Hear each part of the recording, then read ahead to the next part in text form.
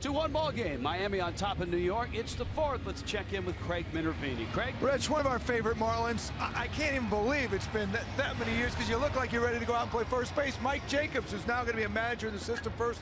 How are you? And good to see you and your clan here.